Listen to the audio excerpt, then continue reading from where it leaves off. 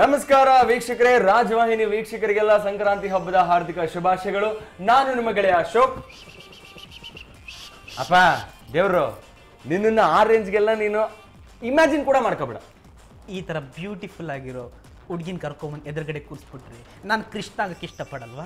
ಅಪ್ಪ ದೇವರು ಅವರು ನನ್ನನ್ನು ನೋಡಿ ಇಂಪ್ರೆಸ್ ಆಗ್ತಾರೆ ಹೊರತು ನಿನ್ನನ್ನು ನೋಡಿ ಯಾವ ಆ್ಯಂಗಲ್ ಅಂದ್ರೂ ಇಂಪ್ರೆಸ್ ಆಗಲ್ಲ. ನೀವು ಇಂಪ್ರೆಸ್ ಮಾಡೋಕ್ಕಿಂತ ಮುಂಚೆ ನೀನು ಯಾಕೋ ನನ್ನ ಕಂಪ್ರೆಸ್ ಮಾಡ್ತಾ ಇದೆಯಾ? ಹೋಗಿ ಬಿಡು ಪರವಾಗಿಲ್ಲ. ಡೈರೆಕ್ಟಾಗಿ ಮ್ಯಾಟ್ರ್ ಬರ್ತೀನಿ. ನಾನು ನಿಮ್ಮ ಗೆಳೆಯ Amit.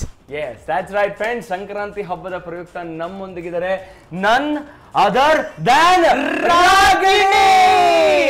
Hi welcome to the show thank you thank you so much ನಿಮಗೆ ಮೊದಲನೇದಾಗಿ ನಿಮಗೂ ನಿಮ್ಮ ಗೆಳೆಯರಿಗೆ ನಿಮ್ಮ ಮನೆಯವರಿಗೆ ಎಲ್ಲರಿಗೂ ಕೂಡ ಸಂಕ್ರಾಂತಿ ಹಬ್ಬದ ಹಾರ್ದಿಕ ಶುಭಾಶಯ ನಿಮಗೂ ಕೂಡ ಮತ್ತೆ ಎಲ್ರಿಗೂ ಸಂಕ್ರಾಂತಿ ಹಬ್ಬದ ಹಾರ್ದಿಕ ಶುಭಾಶಯ ನನ್ನ ಕಡೆಯಿಂದ ಪರ್ಸ್ನಲ್ ಆಗಿ ಆ, ಶುಭಾಶಯ. ದಯವಿಟ್ಟು ಸುಮ್ಮನೆ ಆಯ್ತಾ? ಪರ್ಸ್ನಲ್ ಆಗಿ ಅಂತ. ಸ್ವಲ್ಪ ಓವರ್ ಆಯ್ತು ಇದು. ಸ್ವಲ್ಪ ಸ್ವಲ್ಪ ಓವರ್ ನಾನು ಏನು ಮಾಡಲಿ ನೋಡಿದಾಗ ಹಂಗ ಒಂದು ಓವರ್ ಆದ್ರೂ ನಾವಿಬ್ರು ಇದ್ದೇವಲ್ಲ ಕಂಟ್ರೋಲ್ ಮಾಡಕ್ಕೆ. ಸೊ ನೋ ಪ್ರಾಬ್ಲಮ್ ನೋಡ ಲಿಮಿಟ್ಸ್ ಅಲ್ಲಿ ನಾವು ರೇಗ್ ಸಾಕ್ಬಿಡ್ತೀವಿ ನಿಮ್ಮನ್ನ. ನನಗೆ ನೀವೇನ್ ಬೇಕಾದ್ರೆ ಮಾಡಿ ನನ್ನ ಖುಷಿ. ಜಾಸ್ತಿ ಮಾತಾಡಿದ್ರೆ ಬಿಡ್ತೀವಿ ಅದು ಬೇಡ. ಎನಿವೆ ಸೊ ಸಂಕ್ರಾಂತಿ ಹಬ್ಬನ ನಮ್ಮ ಜೊತೆ ಆಚರಿಸ್ತಾ ಇದ್ದೀರಾ? ಥ್ಯಾಂಕ್ ಯು ಸೋ ಮಚ್ ಬಹಳ ಚೆನ್ನಾಗಿ ಕಾಣ್ತಾ ಇದ್ದೀರಾ? Thank you so much and ನನಗೆ ಹೇಳ್ಬಿಟ್ಟು ಇವು ಇದು ಸರಿನಾ ಇದು? ಅದೇ ನೀನು ಜಾಸ್ತಿ ಏನು ಮಾತಾಡಬೇಡ ಅಂತ ನಿನ್ ಕಡೆ ತಿರುಗಿದೆ ನಾನು. ಸಂಕ್ರಾಂತಿ ಹಬ್ಬನ ಹೇಗೆ ಆಚರಿಸ್ತಾ ಇದ್ದೀರಿ ನೀವು? ಆ್ಯಂಡ್ ಇನ್ನೊಂದು ಕೇಳಕ್ಕೆ ಇಷ್ಟಪಡ್ತೀನಿ. ನೀವು ಬೇಸಿಕಲಿ ಪಂಜಾಬ್ ಆಗಿರೋದ್ರಿಂದ ಅಲ್ಲಿ ಈ ಒಂದು ಹಬ್ಬನ ಲೋರಿ ಅಂತ ಆಚರಿಸ್ತಾರೆ. ಸೊ ಅದರದ್ದು ಏನಾದ್ರು ಎಕ್ಸ್ಪೀರಿಯನ್ಸ್ ಇದೆಯಾ ನಿಮಗೆ? ಶೇರ್ ಮಾಡ್ಕೊತೀರಾ ಅಷ್ಟೊಂದು ಜಾಸ್ತಿ ಇಲ್ಲ ಬಿಕಾಸ್ ನನ್ನ ಅಪ್ಪ ಆರ್ಮಿಯಲ್ಲಿ ಇರೋದ್ರಿಂದ ತುಂಬ ಜಾಸ್ತಿ ಒಂದು ಯಾವುದೋ ಫೆಸ್ಟಿವಲ್ ನೋಡೋಕ್ಕಾಗಲಿಲ್ಲ. ಪಂಜಾಬಲ್ಲಿ ಜಾಸ್ತಿ ಹೊತ್ತು ಇರಲಿಲ್ಲ ನಾವು. ಸೊ ಬೇರೆ ಬೇರೆ ಕಡೆ ಇದ್ದು ಇದ್ ಇರೋದ್ರಿಂದ ಅವ್ರವ್ರ ಜಾಗದಲ್ಲಿ ಏನೇನು ಫೆಸ್ಟಿವಲ್ಸ್ಗಿತ್ತು ಅದು ಅದು ನೋಡೋಕ್ಕೆ ಜಾಸ್ತಿ ಆಪರ್ಚುನಿಟಿ ಸಿಕ್ಕಿದೆ. ಅದು ಬಿಟ್ಟರೆ ಅಫ್ಕೋರ್ಸ್ ದ ಲಾಂಗೆಸ್ಟ್ ನಾನು ಇದ್ದಿದ್ದು ಬ್ಯಾಂಗ್ಳೂರಲ್ಲಿ ಸೊ ನನ್ನ ಅಪ್ಪ ಪೋಸ್ಟಿಂಗ್ ಆದಮೇಲೆ ಇಲ್ಲಿ ಸೆಟ್ಲ್ ಆಗಿಬಿಟ್ರು. ಸೊ ಐ ಥಿಂಕ್ ಸಂಕ್ರಾಂತಿ ತುಂಬ ಜಾಸ್ತಿನೇ ನೋಡಿದ್ದೀನಿ ಎಲ್ಲ ಫೆಸ್ಟಿವಲ್ಸ್ಗಿಂತ ಅಲ್ಲಿ ಲೋಡಿಕ್ಕಿಂತ ಜಾಸ್ತಿ ಸಂಕ್ರಾಂತಿ. ಬಟ್ ನೀವು ಈ ಒಂದು ಸಂಕ್ರಾಂತಿ ಹಬ್ಬನ ಯಾವ ಥರ ಸೆಲೆಬ್ರೇಟ್ ಮಾಡ್ತಾ ಇದ್ರಿ? ನೋಡ್ದೇನೆ ಬಂದ್ರಿ ಇಲ್ಲಿ ಬಂದು ನೋಡಿದ್ರಿ. ನೋಡಿದ್ಮೇಲೆ ನೀವು ಯಾವ ಥರ ಮಾಡಿದ್ರಿ? ಯಾರು ನೀನು? ಯಾವ ಭಾಷೆ ನಮ್ಮ ಹತ್ರ ಕನ್ನಡದಲ್ಲಿ ಮಾತಾಡಿ ಇವತ್ತು ಹಿಂಗೆಲ್ಲ ಮಾತಾಡಂಗಿಲ್ಲ ನೀವು.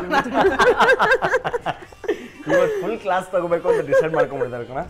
ನಾನು ಅಚ್ಚ ಕನ್ನಡದಲ್ಲಿ ಮಾತಾಡ್ತೀನಿ. ಸೊ ಹಬ್ಬದಲ್ಲಿ ಏನು ಬಹಳ ಇಂಪ್ರೆಸ್ ಆಗುತ್ತೆ? ನಿಮ್ಗೆ ಯಾವ ಒಂದು ವಿಷಯ ಇಂಪ್ರೆಸ್ ಆಗುತ್ತೆ?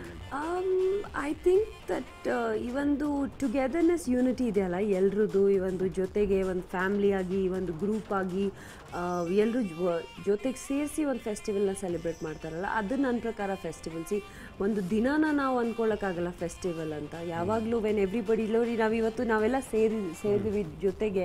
ಐ ಥಿಂಕ್ ಅದೇ ಫೆಸ್ಟಿವಲ್ ನನಗೆ ಬಿಕಾಸ್ ಒಬ್ಬ ಆ್ಯಕ್ಟರ್ ಲೈಫಲ್ಲಿ ತುಂಬ ಕಷ್ಟ. To you know to find a specific ಡೇಟಲ್ಲಿ ಒಂದು ಫೆಸ್ಟಿವಲ್ ಸೆಲೆಬ್ರೇಟ್ ಮಾಡಬೇಕು ಅಂತ. ಸೊ ಫಾರ್ ಮೀ ನಾನು ಯಾವಾಗಲೂ ನನ್ನ ಹತ್ರ ಇರೋರ ಜೊತೆ ಇರ್ತೀನಿ ಆವತ್ತು ಫೆಸ್ಟಿವಲ್ ಅಂದ್ರೆ ನೀನ್ ಹತ್ರ ಇರೋನಲ್ಲ ಕಣೋ. ನೋಡಿ ಎಷ್ಟು ಹತ್ರ ಇದ್ದೀನಿ no this is this is horribly away ಅಂತ. ಹಾರಿಬಲ್ಲಿ ಅಂದ್ರೆ ಏನು ಅದರ ಅರ್ಥ ನಾನು ನಿಂಗೆ ಆಮೇಲೆ ತಿಳಿಸ್ತೀನಿ.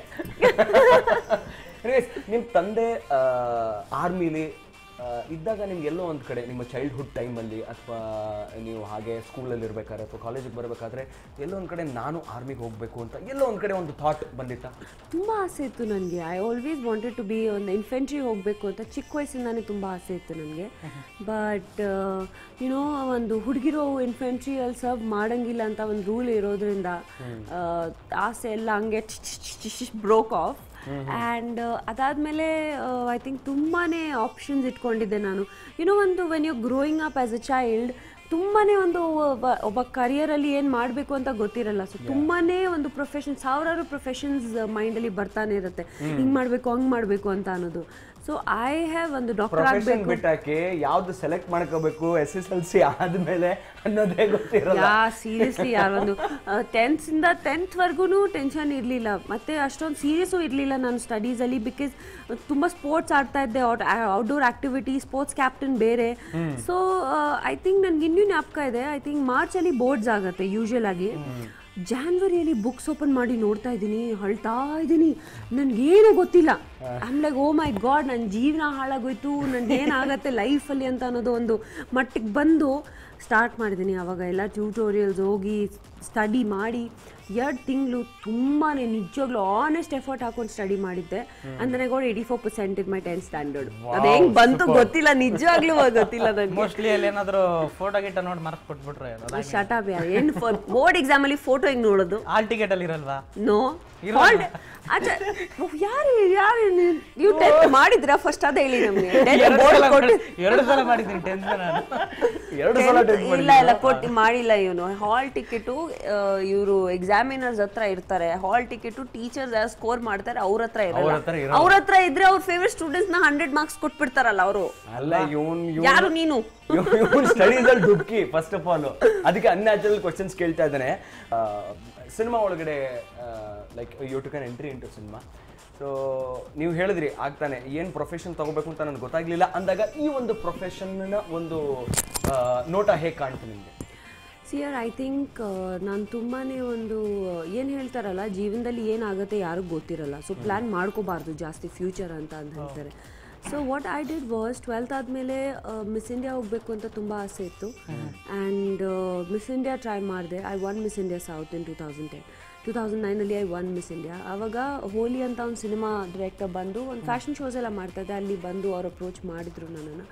ಸೊ ನಾನು ಆವಾಗ ಯಾಕೆ ಕನ್ನಡ ಸಿನಿಮಾ ಅಪ್ರೋಚ್ ಮಾಡ್ತಾ ಇರೋದು ನನ್ನನ್ನು? ಒಂದು ವರ್ಡ್ ಕನ್ನಡ ಬರಲ್ಲ ನನಗೆ. ಆ್ಯಂಡ್ ಏನು ಮಾತಾಡ್ತೀನಿ, ಏನು ಆ್ಯಕ್ಟಿಂಗ್ ಮಾಡ್ತೀನಿ ಆಗ ಅಂದ್ಕೊಂಡೇ ಇರಲಿಲ್ಲ ಸಿನಿಮಾ ಇಂಡಸ್ಟ್ರಿಗೆ ಹೋಗಬೇಕು ಅಂತ. ಆ್ಯಂಡ್ ಬಟ್ ಯುನೋ ಅವರು ವೆರಿ ಪರ್ಸ್ವೇಸಿವ್ಲಿ ಮೂರು ತಿಂಗಳು ಬಂದು ಬಂದು ಮಾತಾಡ್ತಾ ಇದ್ರು ಅಮ್ಮ ಹತ್ರ ಮಾತಾಡ್ತಾ ಇದ್ರು ತುಂಬಾ ದಟ್ ಯುನೋ ಮಾಡಲೇಬೇಕು ನನ್ನ ಪಾತ್ರಕ್ಕೆ ಈ ಹುಡುಗಿನೇ ಸೂಟ್ ಆಗ್ತಾಳೆ ಅಂತ. ಸೊ ಲಿಟ್ರಲಿ ಶಂಕರ್ಲಿಂಗ್ ಸುಗನಲ್ಲಿ ಅವರು ಕನ್ವಿನ್ಸ್ ಮಾಡಿದ್ರು ಡೈರೆಕ್ಟರ್ ಆಫ್ ಹೋಲಿ ಕನ್ವಿನ್ಸ್ ಮಾಡಿದ್ರು my mother and me to at least try ಮಾಡಿ. ನಾನು ಹೇಳಿದೆ ನನ್ ಒಂದು ವರ್ಡ್ ಬರಲ್ಲ ಕನ್ನಡದಲ್ಲಿ ನೀವು ಹೆಂಗೆ ಮಾಡ್ತೀರಾ ಅಂತ ಅನ್ನೋದು. ಈ ಸೈಡ್ ಇಲ್ಲಮ್ಮ ನೋಡೋಣ. ಆಗಲಿಲ್ಲ ಅಂದ್ರೆ ಬಿಟ್ಬಿಡೋಣ ಬಟ್ ಟ್ರೈ ಮಾಡೋಣ. So I think he was one of the people who really initiated that whole acting skill ಅಂತ ಅನ್ನೋದು. ಅದಾದಮೇಲೆ ಐ ಥಿಂಕ್ ಶೂಟಿಂಗ್ ಮಾಡಿಲ್ಲ ನಾವು. ಫಸ್ಟ್ ಪ್ರೆಸ್ ಕಾನ್ಫರೆನ್ಸ್ ಅಂತ ಮಾಡ್ತೀವಲ್ವ? ಮುಹೂರ್ತ ಮಾಡಾದ್ಮೇಲೆ ಪ್ರೆಸ್ ಕಾನ್ಫರೆನ್ಸ್ ಪ್ರೆಸ್ ಕಾನ್ಫರೆನ್ಸ್ ಮಾಡಿ ಮಾಡಿದ ತಕ್ಷಣ ಅದು ಪಬ್ಲಿಸಿಟಿ ಸ್ಟಿಲ್ಸ್ ಎಲ್ಲ ಆಚೆ ಬಂತು.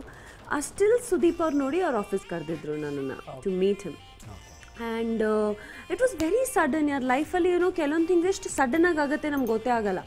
ಸೊ ಲೈಕ್ ಇವತ್ತು ನಿಮ್ಮ ಅವ್ರ ಜೊತೆ ಕೂತ್ಕೊಂಡು ಮಾತಾಡ್ತಾ ಇದ್ದೀನಿ ಸುದೀಪ್ ಅವ್ರು ಯಾರು ಅಂತ ಗೊತ್ತಿರಲಿಲ್ಲ ನನಗೆ. And I just knew that is a director and because Kannada industry ಬಗ್ಗೆ ಗೊತ್ತಿರಲಿಲ್ಲ ನನಗೆ. ಸೊ ಜನರಲ್ ಆಗಿ ಕ್ಯಾಶುವಲ್ ಆಗಿ ಅವ್ರ ಹತ್ರ ಮಾತಾಡ್ತಾ ಇದ್ದೆ. ನಾನು ಅನ್ಕೋತಾ ಇದ್ದೆ ಯಾಕೆ ಇಷ್ಟು ಜನ ನಿಂತ್ಕೊಂಡಿದ್ದಾರೆ ಆಫೀಸ್ ಆಚೆ? You know how is office setup a knowledge ಅಲ್ವಾ? ಸೊ ಮಾತಾಡ್ತಾ ಇದ್ದೀನಿ ಕ್ಯಾಶುವಲ್ ಆಗಿ. ನನ್ಗೆ ಗೊತ್ತಿಲ್ಲ ಈ such a big star such a big director ಏನೂ ಗೊತ್ತಿಲ್ಲ ನನಗೆ. And one week later like ಇವತ್ತು ಮೀಟ್ ಮಾಡ್ತೀನಿ ಒಂದು ವಾರದಾದ್ಮೇಲೆ ಶೂಟಿಂಗ್ ಸೆಟಲ್ ಶೂಟಿಂಗ್ ಮಾಡ್ತಾ ಇದ್ದೆ ಫಾರ್ ಮದಕರಿ. ಹೋಲಿ ಒಂದು ಕೆಲವೊಂದು ಕಾರಣಕ್ಕೆ ಒಂಚೂರು ಡಿಲೇ ಆಯಿತು. Madakari started before and that's how my acting career began